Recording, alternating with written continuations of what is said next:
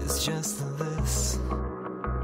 It's not the way I'm wired, so could you please help me understand why you're giving in to all these reckless dark desires? You're lying to yourself again, suicidal in the soul, pounding on the phone line.